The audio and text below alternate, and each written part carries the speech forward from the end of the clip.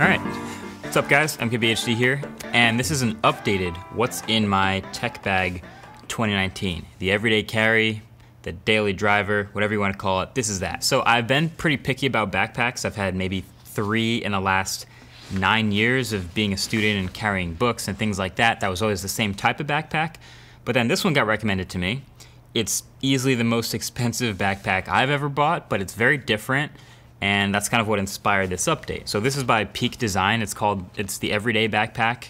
It's the 20 liter version. There's a bigger 30 liter one, um, but this is my everyday carry. I don't need that much space. Yes, I know there's a matte black version of this, but I got this charcoal one because of the red accents, so I know. So with my previous bags, it was kind of like a, a big empty space, which is great as a student-minded person with, you know, carrying books and stuff like that, but this is divided up. It has a ton of features, it's very different. So this is everything that I carry now in it. This is what's in my tech bag 2019. So I still don't know if this qualifies as a tech backpack because I mean it doesn't have any, you know, battery banks in it or any solar panels built in, but it has so many features. I didn't realize a backpack could have this many features. It has more than I'll ever use, but it's got all kinds of magnets and compartments and, and latches. And it kind of starts right here at the top. Actually, you know what? I'll start with the smartphones that I carry every day since people will be asking that. Um, it's still the OnePlus 7 Pro as the daily, and the iPhone XS Max, Space Gray, Nebula Blue. Those are the smartphone daily drivers of choice when I'm not testing other stuff. All right, so into the bag, it's got this metal latch, as you can see, and you pull it down, and it sort of unhooks from any one of these levels on the inside. So if you have a lot of stuff in the bag, you can hook it up to a higher angle or lower, or lower like that. It's kind of great. There's magnets. I really like it. And that just exposes the top of what's in the bag, which is just my everyday carry thing of the day for me. That's the headphones. And they are still the Sony's that I've had for the past couple months. I did really like the Bose, but these are still my go-tos. And then it's kind of empty. You can see like in there, it's it's a good amount of space for that top third of the bag. But if I had more stuff in there, like you know, extra shirt or a jacket or things like that, then I would just sort of latch it up there. Um, it's weather resistant, so water just kind of falls right off the top of it if I'm in the rain. It's pretty sweet. Okay, so getting into the side. This bag is kind of designed so as you're carrying it, you can take it off and it's got handles on the side and it's also fully accessible via zippers on the side. So if you wanna like extend it and just kind of have it like a messenger bag style for a bit, you can do that and then you get to what's inside the bag, which for me is uh, a good amount more than I could put in my previous backpack. So you can see the top third is empty now that the headphones aren't in there. And then in this middle third, this is a camera that I'd carry every day. This used to be the Hasselblad. If I'd carried this in my old backpack, it would just kind of be like loose in the backpack, which was kind of weird. So it's, it's great that this is a bag made for camera stuff and it's more secure. And the camera of choice is no longer the Hasselblad, at least for now.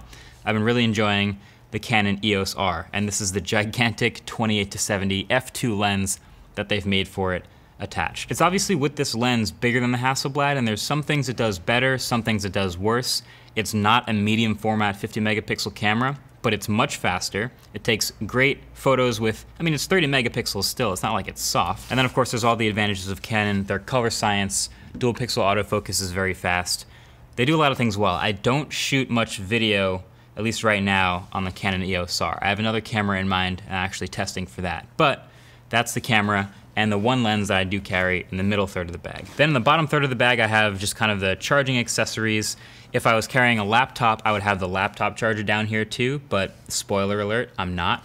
Either way, uh, I have a battery bank. It's more of in case of emergency because I usually keep things pretty well charged, but this is Anker's 26,800 milliamp hour battery, which replaced the 20,000 milliamp hour one I carried before. But all the same features, 18 watt charging, USB-C in, uh, and it still has that little sweet charging indicator.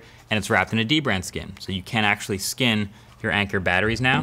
And uh, I have the McLaren Edition OnePlus uh, 30 watt charger. It's the same as uh, the current 30 watt that comes with the OnePlus 7 Pro, but it's a little more fancy orange with this braided cable. And that pretty much takes care of the actual insides of the bag. You can access it from either side, so if I swap over here to the other side, so you kind of get used to having the handle of the camera that you want to get to quickly always on one side, so you always know where to open it to pull out the camera and start using it, which is pretty cool. And then inside, there's actually these little wings. They have zippers in there and there's stuff that you can put in these compartments too. Now, like I said, I don't carry a whole ton in the bags, so there you have the uh, the one pen I carry, and I think uh, have some contact lenses in there. Then on the other side, there you go, business cards, another pen, and a Sharpie up here. And again, like I got so picky about backpacks, but there's just so many things, little things about this bag that are sweet.